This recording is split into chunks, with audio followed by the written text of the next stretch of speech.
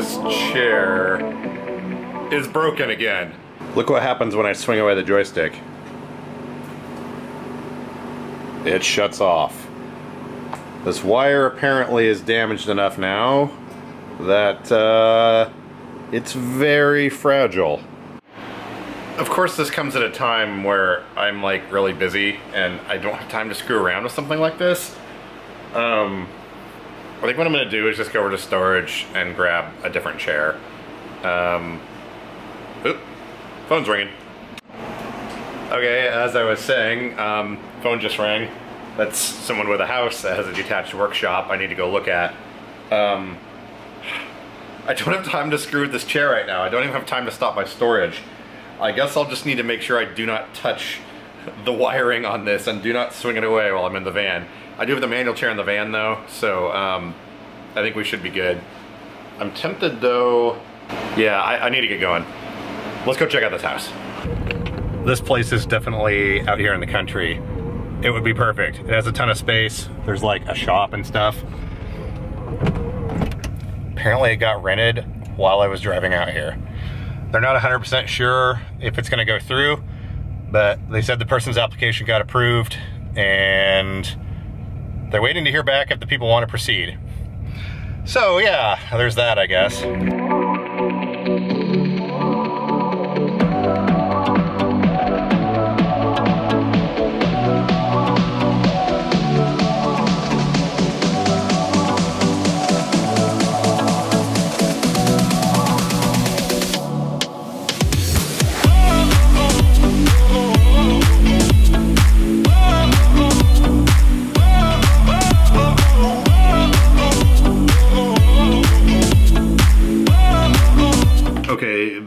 Super random. Uh, I got some footage of launching a model rocket from the drone. Someone texted me and was like, hey, do you want to bring the drone out and uh, get some footage of someone launching a toy model rocket? I was like, uh, duh. Wasn't expecting that today. Um, it's now five o'clock. I still need to fix this chair. Um, we're at peak traffic time, so I'm gonna wait like an hour and a half before traffic dies down, then go out to storage and see if we can find some parts. Or if not that, maybe just grab a different chair, because this thing's gonna leave me stranded again. Any, anytime I touch the joystick or try to swing it away, it just shuts off. Um, I, I can't, I, I will be able to take it apart and fix the wiring, but I need another joystick to use in the meanwhile, because I don't wanna take this apart and then have it quit working and then not have another chair here. I'm really frustrated. Um, even the motors on this chair are making weird sounds now. I, uh, I found a joystick laying around here that I can use temporarily. Well, there's something written on the bottom of it. It says loner something? Can't quite read that. It's one of the old monochrome style ones, but it does have light buttons on it. Uh, so I think it should work while I take this one, this one apart and uh, get it fixed. yeah. I should probably stop doing that. I'm gonna get stuck. um, okay, on this purple Amy Systems chair, I have figured out, I've got some armrests on another chair right here. That chair, it does work, but the motors are kind of screwy on it, so it's gonna be parts. Um, but I got some armrests for that. I figured out how to mount the controller on this. And I guess I just need to put the armrests on. Oh, joystick, that's the other thing I need. Um, I've got another one around here somewhere. One like this would work, but I don't, I mean, you can see this one's pretty cracked and broken. There's something else I needed to do here. Oh, yeah. Um, I think I'm gonna take the guard off my soccer chair, and since this one I'm sitting in is having so many problems, and now even the motors are making noise, I'm thinking about potentially trying to use this chair as a daily driver. Um, I've got the, uh, I installed the fan system on here for the motors and then the uh, brackets for the uh, soccer guard are on here too, but I mean, I could unbolt all that stuff uh, fairly easily. Yeah, I'm gonna take the soccer guard off of this, take it back to the apartment and see. It is rear wheel drive, so I don't know if it's gonna fit through the doors. It is very short though. The overall length of this chair is less than the one I'm sitting in. So I think I'm gonna pull the guard off of this and just try it out and see. Because I've got reliable RNet electronics on here now. It's got good batteries. Suspension on it's good. Um, so I think it might be worth checking out at least, because um, this one, I mean, I'm gonna get the joystick fixed on it, but I'm gonna have to take apart the motors again and see what's going on there. These things, I mean, I don't know what's wrong. This, so I've got an M300 over here. That was like the second power chair I ever had. It's behind the pink one. And that thing has been a workhorse. Um, it, I, I got that one two months after they came out with that model. So I don't know if things have changed since then, or the quality's declined, or maybe I'm just being harder on things. Because I had one of these C300s before, and I wore it out in eight months.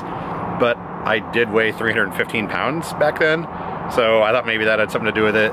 But I think these chairs are just not designed for the uh, type of abuse that I put them through. Um, I think this Bounder 300M is probably going to be the way to go. I need to get my insurance stuff uh, straightened out and see if I can get one of those ordered. Um, again, I need to stop screwing around and do what I need to do to make sure I'm taken care of and I'm not going to keep injuring myself or causing, you know, further problems by using questionable equipment.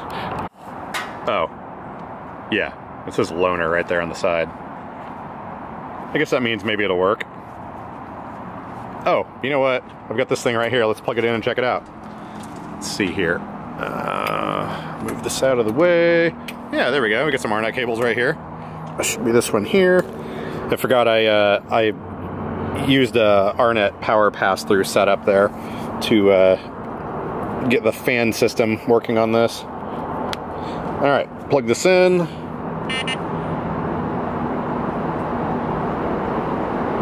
Joystick error.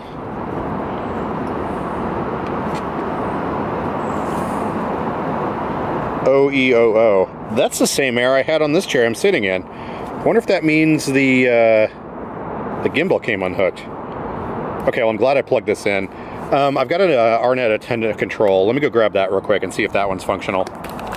Oh, and by the way, uh, this is an active QR code if you feel led to send Bitcoin. Um, yeah. In this briefcase right here, or suitcase. Yeah, there we go. It's an RNet attendant control. All right, I have never used one of these attendant controls before, so let's see if it works. Hopefully it doesn't screw anything up. Uh, so apparently there's no power switch on it. Um, okay, so you already have to have something installed in the system. Uh, let me keep digging. I should have another joystick somewhere. I'm gonna take this joystick apart while I'm sitting here. I've got, uh, I found my um, wrenches. So the problem with these C300 wheelchairs is they don't really have a frame everything is sort of attached to the battery box and the battery box is riveted together. So if you're not very careful or there's a lot of flexing going on, all the rivets start getting loose and then the whole chair just gets really noisy and flexible and feels like it's gonna fall apart underneath you. And I think that's what I potentially triggered running around at my friend's place the other day. Okay, I'm real interested to see now if uh, this joystick is having the same problem where the gimbal just unplugged itself. I think it's the same error code. So we'll see here in just a minute. These last two screws out. There we go. All right, drum roll please.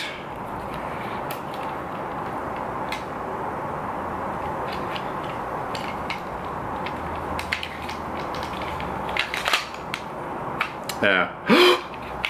So I was just checking here and I was like, oh yeah, cable's plugged in. But then I looked at the other end of the cable, check it out. It's not plugged in. That's the other end that the joystick gimbal is on. See, it's supposed to plug in right there, and this is just flopping around. Now, this just proves my point. This obviously is an older Permobil joystick, but why are we not using some sort of glue or something to hold this stuff in place. I just pushed it back down in there. Now you can see it's connected. Um, it didn't snap into place or anything, so There's basically nothing holding that in there. I can't believe it. That's exactly what it was.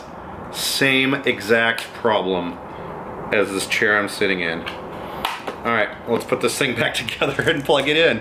I bet it'll work. I don't even know what to say. There's just so many things that could be easily solved and not really cost anyone any money and increase the reliability just on an exponential level.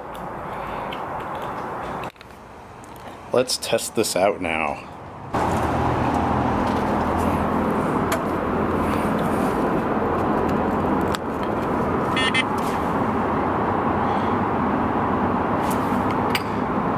Well, what do you know? It appears to work.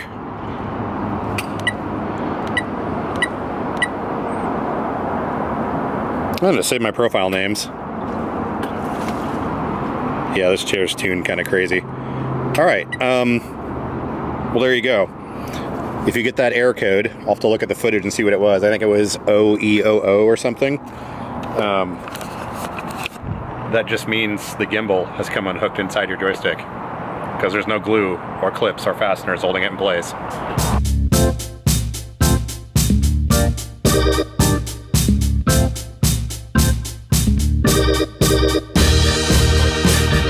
I'm not entirely sure how I feel about this thing. Uh, it's, um, so I can't really get into the van with it because it's rear wheel drive. It's not capable of turning this corner and getting into the driver's seat position. Yeah, that's not gonna work. Um, this new controller, it has a lot of power.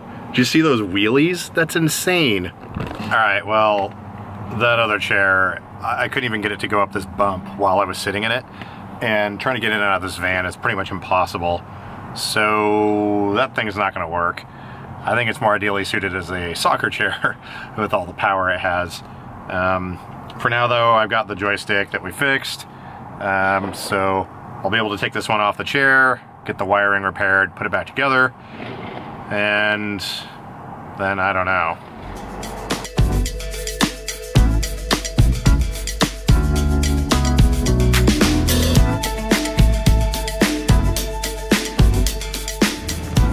Okay, it's the next day.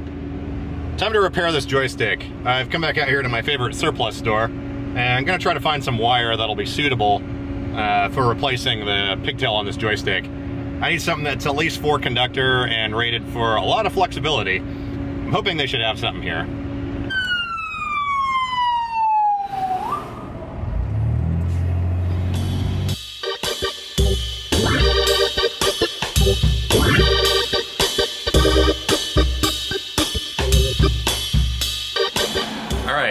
Stuff.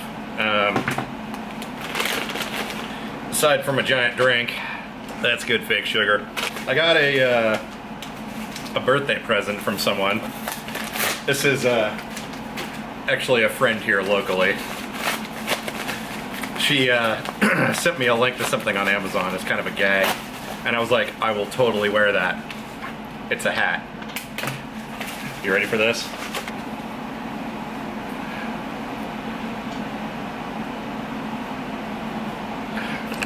Is this not the best hat ever? um, I'm totally gonna wear this around outside. It's, uh, oh. And then also, um, I did find some wire uh, to replace this joystick pigtail. Unfortunately, the only high quality stuff they had was not in bulk. It was actually part of a uh, uh, Hall effect sensor, and it's bright yellow. But this stuff is very high grade, uh, 300 volt wire. It has this weird connector that I'll probably cut off, but it's four conductor, uh, stranded, and uh, this will work perfectly. I'll just have a bright yellow um, thing coming out of here now, I guess. Um, but yeah. Oh, and I also got for two dollars one of the uh, old Verizon Moto Droid carbon fiber edition phones. No idea if this power's on or not. Let's uh, plug it in here and see what happens. But yeah, for two dollars, I couldn't uh, I couldn't pass this thing up. Let's see here. Hey, it turns on.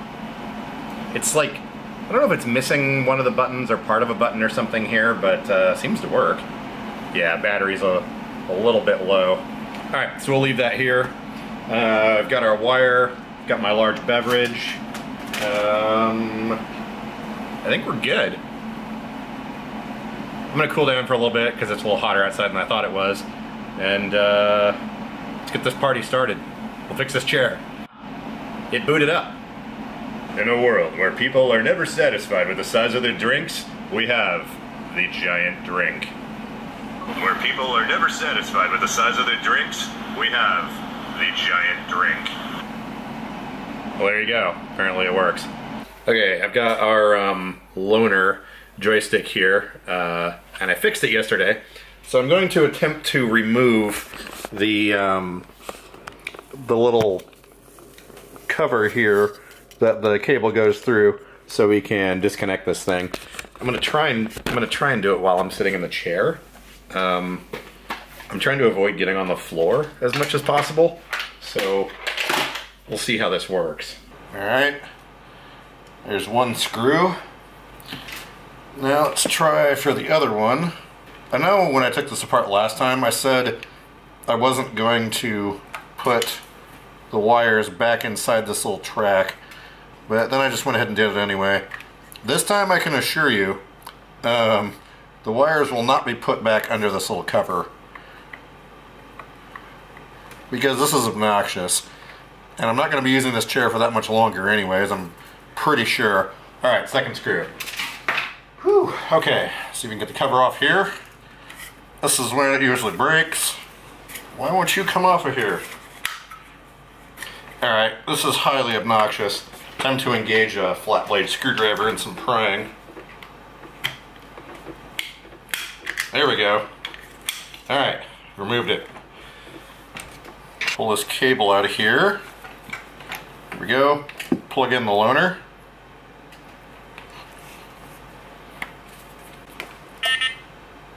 Let it do its discovery thing, which usually takes a minute or two. It should turn into a power logo when it's done. There we go. Turn it off. Wait a couple seconds. Turn it back on.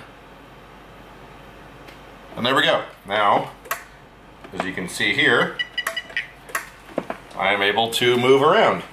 And I even have headlight switches now. I should probably attach this to the chair now because trying to hold the joystick by hand while you're running around is not the best of ideas. Horn's loud. Okay, let's get this other one off of here. Oh, I forgot. There actually is one thing I need to one thing I need to do first. Um, let me plug this old joystick back in. What I want to do is flex the wire in different areas and try to figure out if I can locate where the brake is before we uh, take it apart.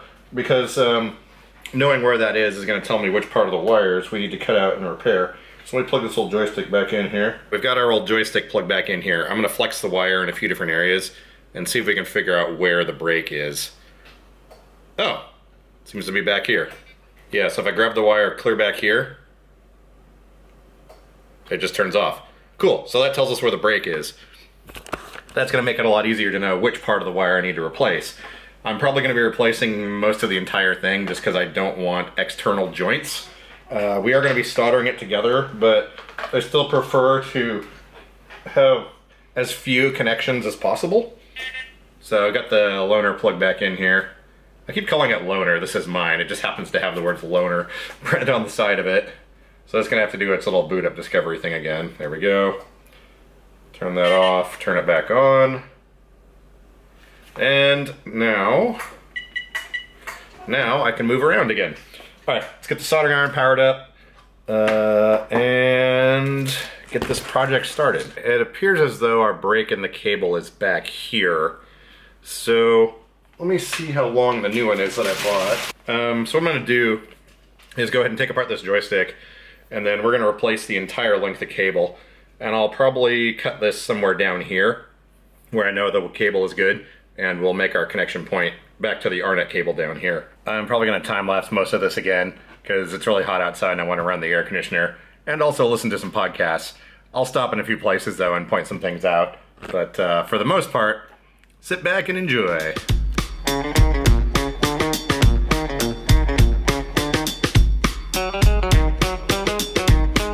Okay, so the main pigtail cable comes in through the bottom here and it's held in place with this clamp which you can just kind of kind of pull out of here. There we go. Clip is removed and then this will sort of pull through give you a little bit of room to work. Now, those go up here and connect. Um, okay, this is somewhat obnoxious now.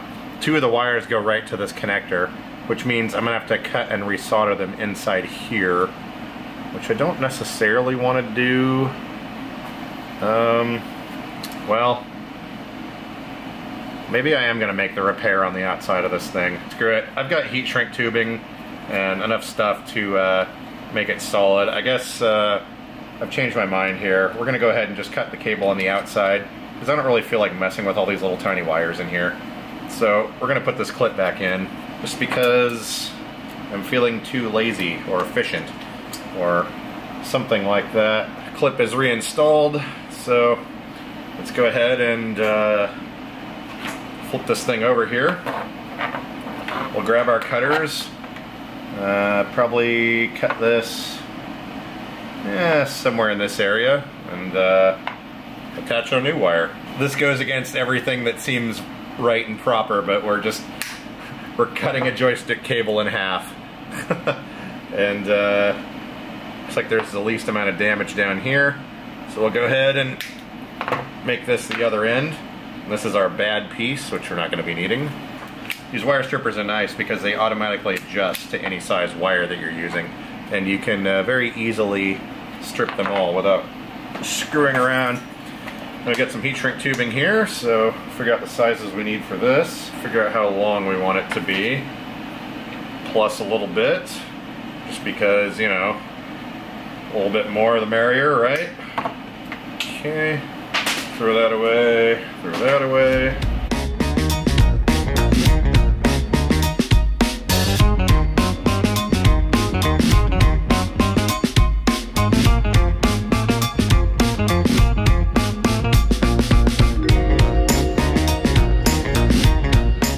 Now, when I'm soldering things like this, I like to um, I like to get the wires so they're just kind of stuck together and you sort of put the two ends together so they're overlapping like this and everything's nice and flat and you'll have the least amount of uh, resistance there.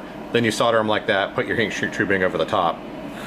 Uh, this camera is about to overheat, so I'm gonna give it a break for a minute and then we'll continue. Okay, we've got this side of the uh, joystick now all set up and good to go. You can see we've got each wire soldered and heat shrink on there and it all lays nice and flat. So I'm going to get a larger piece of heat shrink tube now, actually a couple of them, and I'm going to add a layer, a protective layer of electrical tape in here, then we're going to put a sheathing of heat shrink tube over the top of this, and then we should be good to go. And it looks like my gasket here is falling out of this joystick. So I'm to go ahead and put this thing back together now since I am not to be doing any soldering inside of it. And uh, we'll continue from the outside. I suppose while we're inside here we can check up on our glue. Uh, looks like that's still holding this connector just fine. Sweet. Although it is interesting though, the temporary one I'm using, this is where it came disconnected. Uh, this one seems to be in there pretty good. But yeah, it's just uh, Strange.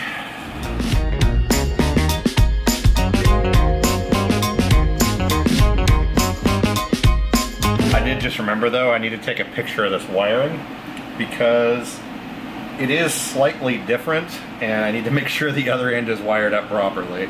So we'll get a picture of that here real quick.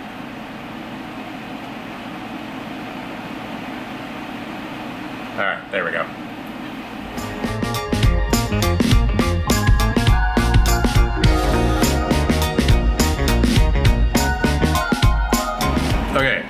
Halfway done. We now have a joystick, this big wad of weirdness, and bright yellow wire. Uh, this, however, is very flexible. It's very well protected. And it's gonna work for now. Like I said, I'm not gonna be using this chair that much longer. So, um, mm, just need to connect the other end up to this, and we're done.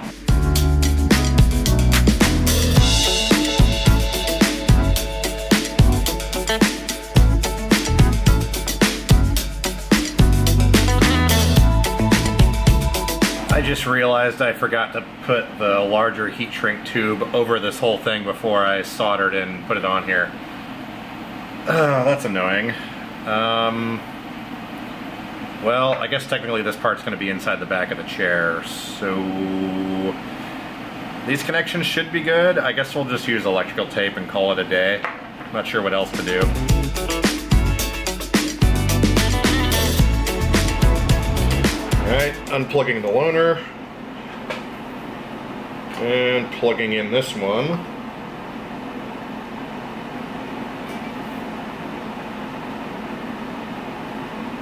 It's doing its little loading thing. That wants to restart. By the way, um, your ICS switches will do this weird um, red and white flashing thing when it wants you to restart. So if you see that after swapping joysticks, that's fine. Uh, so we'll turn this off. Turn it back on.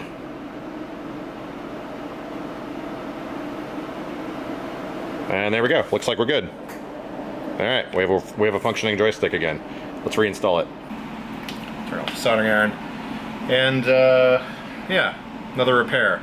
How many times would I have had to have this replaced by insurance now? Um, let me here. Let's let's see how many miles are on this chair. I don't even think it's that old. Okay, this chair doesn't even have a thousand miles on it. Seriously. Um. So I don't know. I guess it comes in handy being able to fix your own stuff. But uh, yeah. Time to get some food. I'm uh, going to transfer into this super sketchy looking office chair and uh, we're gonna get the rest of this wiring here uh, tidied up. I turned this thing on a minute ago and it was giving me an M1 motor error. So I took the back part of the cover off and the connections were a little bit loose going to the controller. If you have a C300, do not take it off-road. Um, these things will just fall apart if you do that, apparently. I don't know what I think. Like, I like this hat, but I'm not a fan of the curved thing. Eh. I'm in this really sketchy office chair now. Um, and uh, let's get this wiring tied up. Uh, I want to run it in a way that's going to minimize the amount of wire stretchiness. Okay, I think I figured it out. Uh, I've got the wire coming down here, and then it's running in this track. And then from there, I'm zip tying it down. Uh, the way I hang the seat belt on the back, well, hopefully that doesn't interfere with it. But as you can see, you can tilt this up, and the wires pretty much stay where they're supposed to. Got a disconnect point here now instead of in here. But I do believe this will provide a little bit more strain relief. So these wires should last a while, hopefully. But again, this is just a patch till I move and then can use another chair. But I think for now we're good.